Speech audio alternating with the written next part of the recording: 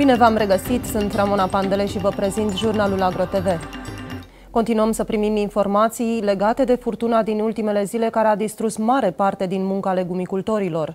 Zeci de solarii au fost parțial distruse, iar mai multe suprafețe de culturi din interiorul lor au fost serios avariate din cauza vijeliei, în bazinul legumicol din comuna Băbeni. Fermierii au privit neputincioși cum munca și investiția lor este distrusă, iar acum nu le rămâne decât să evalueze pagubele. Din nefericire, nici solariile și nici culturile nu erau asigurate, iar în aceste condiții, pierderile sunt suportate în totalitate de către proprietari. Ce pagubă aveți la solari? Păi s-a rupt solarul. Era și așa cam uh, deteriorat, dar uh, de vântul de ieri s-a terminat.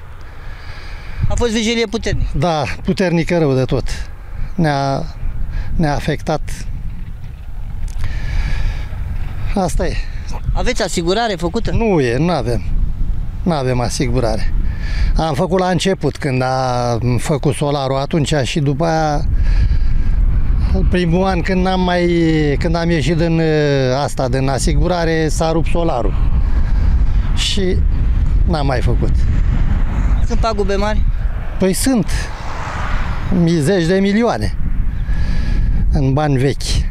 Ce veți face acum? Trebuie să le reparați? Păi reparăm. Am vorbit deja de folie. Trebuie făcute. A fost vizelie puternică. Așa e în agricultură. Cu interperile vremii. Asta e, nu ce să zic mai mult. Ce a fost afectat? Păi solarul, după cum se vede. Costă mult să, re, să reface solarul? Păi 60 de milioane, 60 și ceva de milioane să punem tot, toată folia înapoi. Da. E o pagubă pe care trebuie să o suportați din buzunarul propriu. Bineînțeles, bineînțeles, nu. Cine, cine să-ți dea? Asta e meseria care o avem, na, fiecare. Nu au fost asigurate solarile? Nu, nu, nu. Nu avem așa ceva. Nu cred că e nimeni și nici asiguratorul eu nu cred că e cineva unde își vrea să facă așa ceva. De exemplu, astăzi a fost tata și era un nene care de 3 ani vine o vigilie și ia solarul și anul ăsta i l-a luat de tot. Acum i-a mai, i-a mai luat din folie așa. Ce culturi aveați în solar? Păi, spanac, merg la tarabă și am de toate, de la spanac, ridichi, ceapă, uh, da, după cum se vede, morcovi am, da. Reușiți să mai recuperezi ceva? Din ce? Din folie? sau? Da, din cultură, da, da. Că nu a venit grindină sau vigel sau ploaie după aceea. Da. Din folie? Nu. Folie... E 100% afectată, da. Trebuie să înlocuiți toată folia. Da, păi v-am zis că 60 de milioane costă. 6, 6 mii de, 6 mii de lei, bine? Am așa. Vântul care a bătut cu puterea unui uragan a făcut pagube mari și în cel mai mare bazin legumicol din județul Buzău. Zeci de solarii au fost distruse de rafalele puternice, iar pierderile se ridică la sute de milioane de lei. Legumicultorii sunt disperați și spun că nu mai au bani acum ca să-și repare solariile distruse. Mai multe solarii din principalele zone legumicole ale județului, cu precădere cele din comuna Glodeanu Sărat, au fost afectate de rafalele puternice de vânt înregistrate marți. În unele situații, pagubele ridicându-se la aproximativ 40.000 de lei. De ieri a bătut vântul cu foarte, foarte mare putere, cred că au depășit 100 și ceva de kilometri la oră rafalele. 2000 de metri, cum vedeți, este daună totală, restul a mai ciupit așa până ele, dar nu foarte mare Adică nu, a, mai reparăm, acolo este mai ușor de reparat. La asta va trebui folia integral schimbat. Sunt mulțumim lui Dumnezeu că am scăpat doar cu folia și n-a stricat structura. Folia e scumpă? Este foarte scumpă. Toate scumpe, toate inputurile în agricultură s-au scumpit enorm. Ce aveați cultivat în acest solar? Ă, am, în acest solar am ă, salat. Și vă afectează acum faptul că... Am văzut astăzi, chiar astăzi mă uitam să știți că este afectată. I-a păsat fiindcă a bătut foarte tare vântul și, a, cum spunem noi în termenii noștri, a zdrălit frunzele foarte tare. În localitatea Pitulicea, la câțiva kilometri depărtare de Glodeanu Sărat, scenariul a fost același. Legumicultorii au asistat neputincioși cum vijelia le smulgea folia de plastic de pesere și culca la pământ răsadurile. Eram la plantat aici ieri și a rupt tot tot a rupt. Și mărginile, zoblea, puteți să mergeți și mai încoace, tot e rupt de la cap la cap. N-ai decât să îmi pun ăsta de așa, de gât, așa și să mă spânzur. Am uh, 68 de ani. De 50 și, și ceva de ani pun grădină. Prima dată cu părinții, acum a doua oară, acum sunt singur cu băiatul. Dar nu mi s-a întâmplat așa ceva. De ce a fost? A fost uragan, cred că era 100 la oră. Când vinea uh, rafalele de vânt, lua pe tot, te dădea într-o parte. E... Am încercat să repar, n-am, n-am avut ce să repar, că zburai cu totul, cu folie, nu se poate. Câteva străzi mai departe, o altă familie a văzut cum toată munca se năruie sub forța vântului. Când a început, ne-a luat în partea asta de aici. Am, când așa să sălta nylonul, să sălta nylonul, doar l-am văzut când l-a luat, l-a dat peste casa la băiat în partea altă. Asta, aia, alealte le-a sărit țevilii după ancore și le-a zbiciuit toată ziua, toată ziua. Ăsta aici, învelit de, de în februarie, în ianuarie. Așa, tot așa, am zis, zic, că e mai strim, poate nu, nu rupe. L-a rupt și pe ăsta. L-a jumulit așa, l-a sfâșiat. Așa de puternic a fost Puternic tare. Puternic tare. S-a suit băiatul să taie o cracă că să nu afecteze lumina și îl trântea jos vântul, așa de tare ce era. Pagubele sunt mari? Păi sunt, sunt. În primul rând nailonul. Nailonul. Răsadul recuperăm, că n-am apucat să îl punem pe tot. L-am cărat în alt solar, mai mic, dar nailonul, asta e problema. E foarte scump. E foarte scump. Da. Deci, cât e kilogramul? Nu știu, așa, 150, așa, dar, de exemplu, când am învelit 50 de milioane, am dat numai pe partea asta. V-ați calculat așa pagubele? La cât se ridică? Cât se ridică... Nu știu. Cam cât ar trebui să cheltuiți ca să-l refaceți? Vreo 60 de milioane mă costă. Județul Buzău s-a aflat sub atenționare meteorologică de cod portocaliu privind intensificările susținute ale vântului, cu viteze la rafală de peste 80 de km pe oră. Pentru a spera la despăgubiri, legumicultorii afectați de aceste fenomene meteo extreme trebuie să depună o cerere către direcțiile agricole din fiecare județ. Bazinul legumicol Glodeanu Sărat este cel mai mare din județul Buzău, iar mulți dintre agricultori au contracte de desfacere cu lanțurile de hipermarketuri din capitală. Banda de picurare Iritape de la Regal Fermierul, cea mai potrivită soluție pentru sere și solarii. Magazinul Regal Fermierul oferă o gamă largă de produse destinate nevoilor fiecărui fermier, dar și consultanță cu specialiști de top. Compania aduce în atenția clienților noi produse de calitate și accesibile ca preț. Banda de picurare, Iritape, este un produs exclusiv marca Regal Fermierul și avantajele unui astfel de sistem pentru irigarea serelor și solariilor sunt multiple. Pentru a veni în sprijinul legumicultorilor cu o gamă completă de produse și echipamente pentru sere și solarii, Regal Fermierul oferă clienților săi opțiuni variate de grosim și lungimi diferite ale benzii Iritape, precum și filtre de apă. Mai multe detalii vedeți în materialul următor.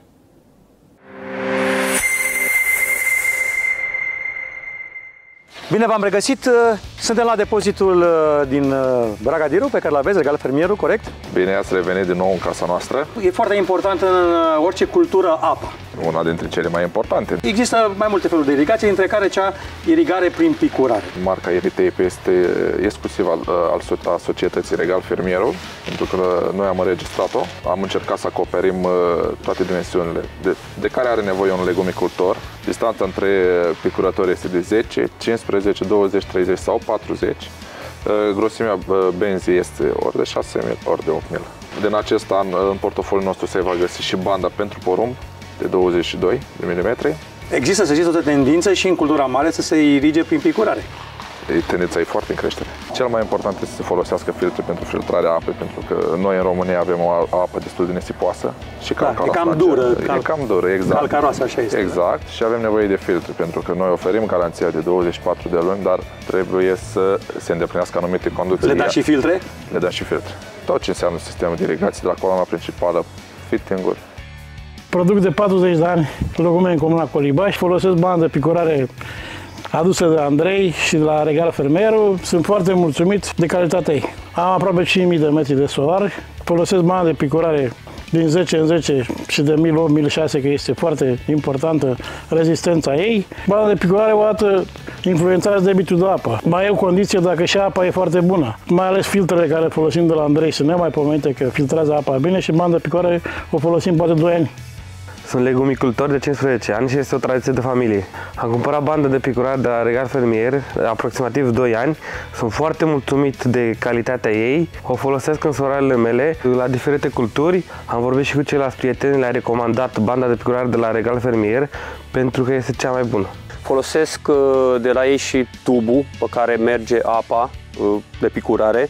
Folosesc în același timp și de merge tubul care merge apa fiartă de la centrală tot de 3 ani le am și pe ele, sunt foarte, sunt în regulă, deci n-am avut nicio problemă să, să rupă sau să spargă să... și pică foarte bine, nu să înfundă. După cum vedeți, am întins picătura de la Iritape, de la Regal Fermierul. În solarul acesta am undeva la 3500 de metri liniari. Folosesc în toate solarele picătură, ne scutește de multă muncă. Banda de picurare am luat-o de anul trecut. Are o perioadă mai scurtă de timp cu o cantitate mai mare de apă care curge în sol. E mult mai rezistentă ca și material. Influență la bandă au și filtrele pe care le folosim. Ai o apă mai bună, duce o perioadă mai mare. Poate un an, doi, trei. Am ajuns în toate bazinele legumicole din, din România. Fiecare plantă are nevoie de un anumit, un anumit tip de bandă. Noi avem uh, role cu dimensiuni de la 100 de metri, cea mai mică până la 3000 de metri. Păi noi îi ajutăm pe clienții care vin și ne cer ajutorul, noi ajutăm și le oferim și consultanță în alegerea unui sistem de irigație cât mai complex. Și mulțumitor pentru plantă. Păi, ce să le spunem? Să aibă apă, să irige în uh, siguranță și cu produse bune. Cu iritei, în special. Așa să fie. Mulțumesc încă o dată, domnule Andrei. Toate bune.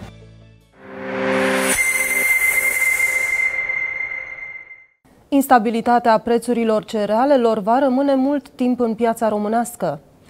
Factorii de risc, precum fenomenele meteo extreme și situația geopolitică instabilă, vor decide situația agriculturii la nivel internațional și, firește, național. Colegul meu, Marius Mila, a discutat cu Cezar Gheorghe, expert în comerțul cu cereale, prezent în studioul jurnalului AgroTV despre situația pieței cerealelor.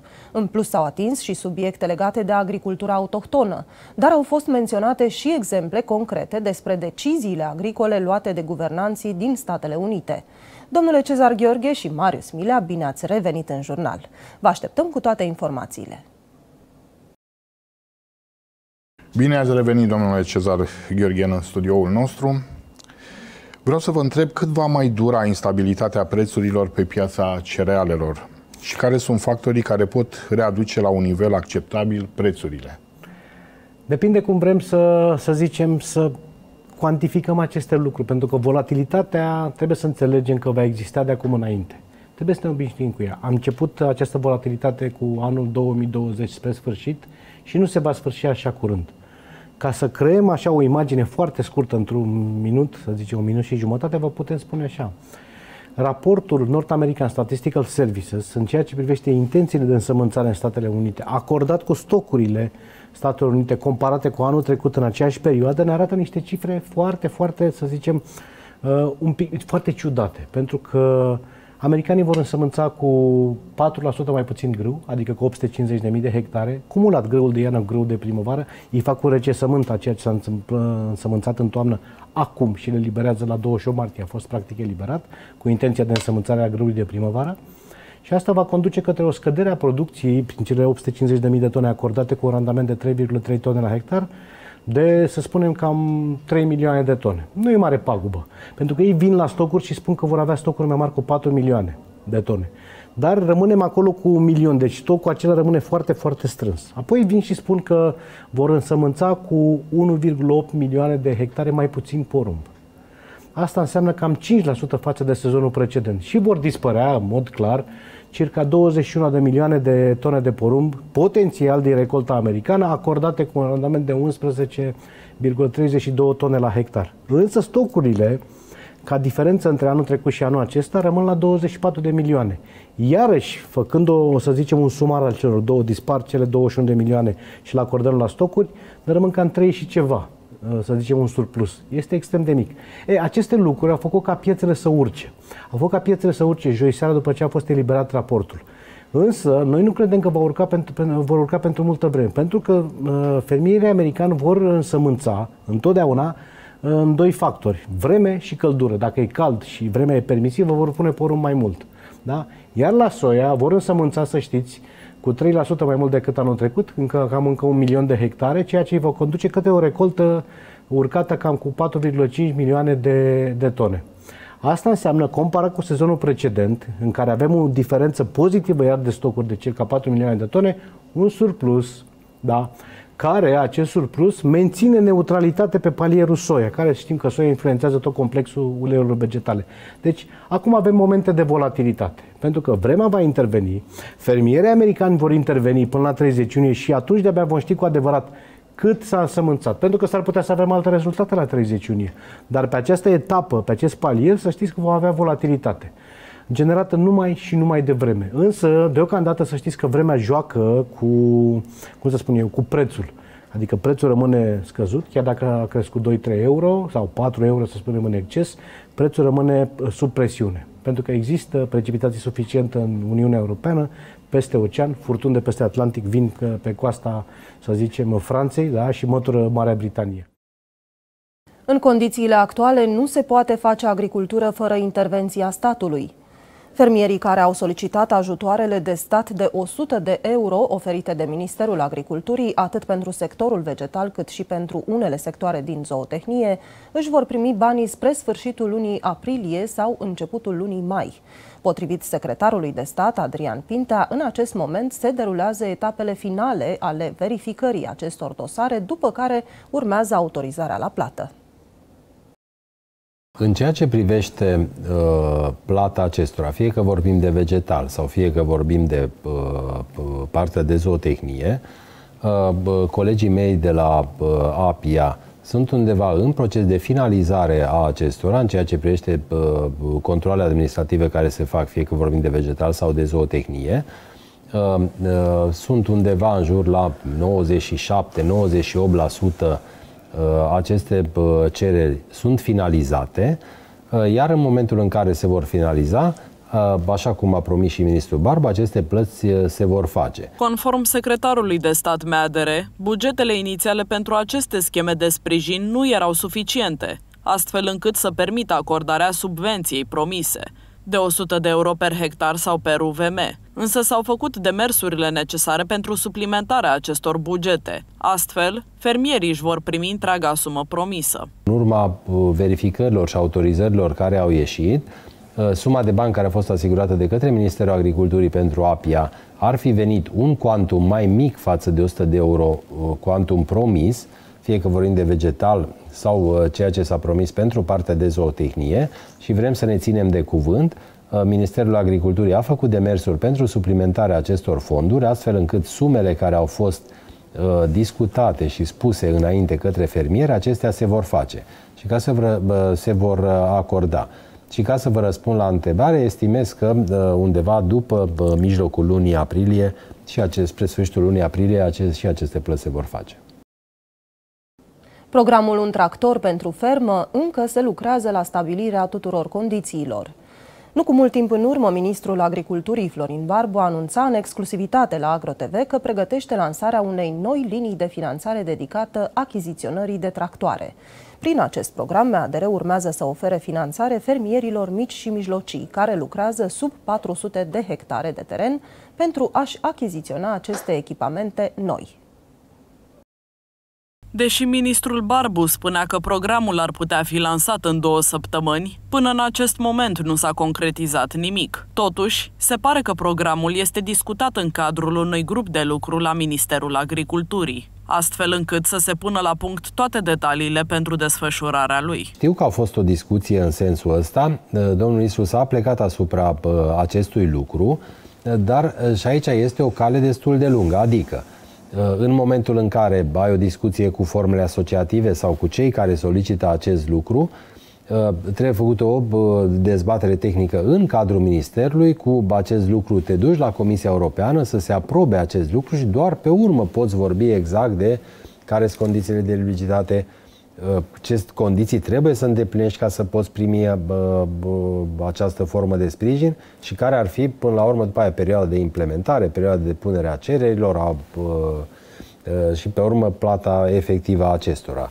Dar avem în discuție acest lucru și bă, domnul ministru a convocat un grup de lucru astfel încât să vedem ce soluție găsim și pentru bă, acest ajutor, să-i spunem. Momentan nu este stabilită o dată exactă pentru lansarea programului Un tractor pe fermă. Detaliile cunoscute sunt cele prezentate de șeful MADR la AgroTV. Sprijinul va fi de 70% fonduri europene și 30% aportul fermierului. Fermele cu o suprafață până la 100 de hectare vor putea să-și cumpere tractor cu o capacitate de maximum 250 cai putere. Fermele cu suprafața până la 400 de hectare vor putea să-și cumpere tractor cu o capacitate de maximum 400 cai putere. Va exista o alocare separată pentru fermierii din sectorul sfeclei de zahăr. Colaborarea dintre fermieri și diseminarea informațiilor sunt vitale pentru activitatea din sectoarele agricole. Pomicultura trece prin transformări majore în ultima perioadă în Argeș, unul dintre județele cu mare potențial în domeniu. Și nu ne referim aici la livezile din micile gospodării, ci la plantațiile intensive, acolo unde pasionații pun în practică noutățile pe care le văd în schimburile de experiență avute cu fermieri și specialiști din alte țări. Sunt mai multe forme de uh, coroana pomilor. Uh, acum, uh, ce vedem aici, e o plantație mai clasică, cu o tufă, uh, cu un, o coroană globuloasă. Dar cei care fac plantații de acum încolo, e bine să pună pomi pitici la distanțe mici și să-i ducă cu diametrul coroanei foarte mic, să se ducă sus, ca să soarele să intre, să intre la toate fructele, să fie toate colorate, procentul de fructe colorate în container să fie foarte mare. Și uh, pomii care sunt altoiți pe portatoi pitic intră foarte repede pe rod. Există până Europa, mai ales până Italia, uh, pomi knip, adică pom care să facă în pepinieră cu uh, muguri de rot pe ei. Dă cu niște spray-uri, cu îi aranjează și uh, ăia, când ai plantat, plantați în primăvară și în vara respectivă îți fac și fructe. Dar noi suntem mai departe de asta. N-ați văzut pe unde mergeți în România sau în județul Argeș, care a, fost, a avut cea mai mare suprafață uh, pomicolă din toată România, sunt numai terenuri părăsite aproape ori nu văd eu bine, ori, dar pe toate văile, pe toate, pe la mine Plavoțești un, uh, un silos de fructe care, dacă bate un vânt, e, e cocoșat, e rupt, e asta, nu mai, nu mai. Și dar uh, din ce vedeți dumneavoastră, pentru că umblați și prin țară și în afara țării, uh, numărul pomicultorilor este în creștere sau este în scădere? Uh, suprafețele sunt în creștere sau în scădere destinate pomicultorilor? Numărul pomicultorilor e în scădere, dar suprafețele au început să mărească datorită unor investitori care au alte surse de venituri. Pe ca să faci o plantație, nu e de ajuns. Trebuie să ai tot logistica până la vânzare. Îți trebuie uh, depozite cu atmosferă controlată sau măcar cu uh, temperatură și umiditate controlată. Și asta costă deosebit de scump. Și nu are cine să-i facă dacă iei un leu pe kilul de mere sau un leu 50, n-ai cum să faci, chiar dacă vrei. Urmează câteva minute de publicitate, după care continuăm jurnalul AgroTV.